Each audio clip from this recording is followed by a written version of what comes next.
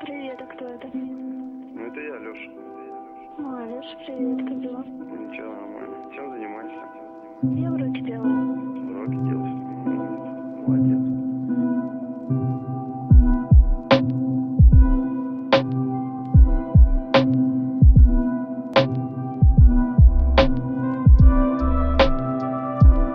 thank you